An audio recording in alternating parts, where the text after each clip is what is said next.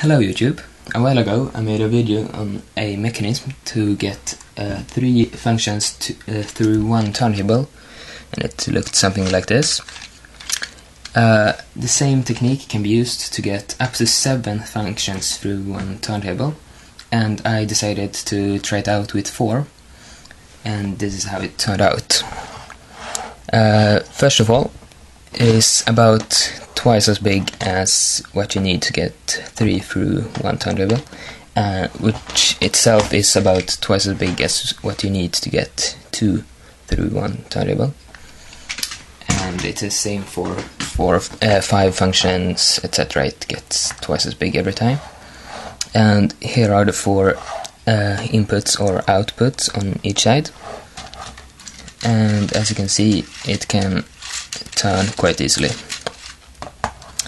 Uh, the first function uh, is very simple. It's just a four uh, long uh, axle that goes straight through the middle of the turntable. And to get the uh, function out here, I just used one of these wheels and a rubber band. Uh, because I use a rubber band, it can't support very high torque, but if you want that, you can use one of these wheels instead and some chain to get the uh, so you can get very high torque. Uh, and let's try it out. Let's see if it works. Let's this here. You can see that yes, it does indeed turn. Doesn't work very well, but at least it works. And you know it's rubber band, so it's not that great. The second function is the function that works the worst. Uh, and it takes a very complicated route through here and up to here. So let's see how it works now. I will hold uh, the inner mechanism so all the other outputs doesn't turn.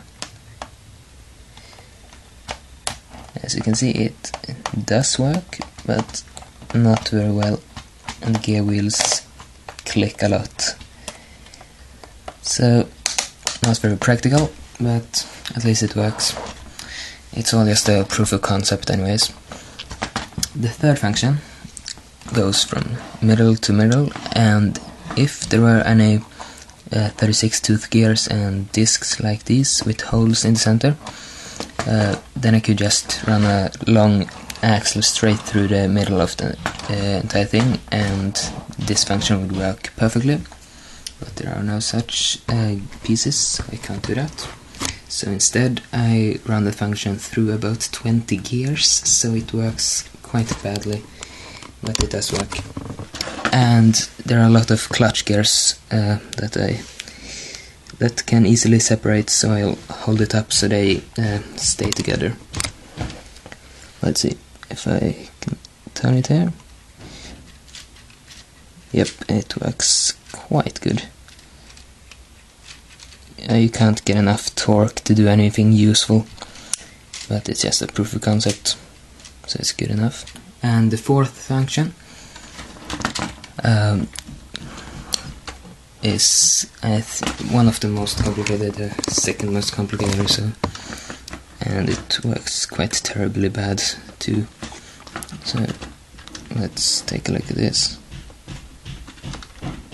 Ah, it actually works almost look at that, it works. Um, well, uh, that was all of the functions. I am not going to make a video explaining any of this, because it's way too complicated, but I will make a video explaining the smaller one. Uh, I'm going to try to explain it intuitively so anyone can understand it. And the same principle goes for the big one here, so hopefully you will be able to understand most of what's going on in here. Uh, but anyways, that is almost all for this. But I just gotta say, it looks really cool with all these gears and stuff turning around in here. But sadly, it doesn't do anything useful really. Well, thanks for watching. Bye.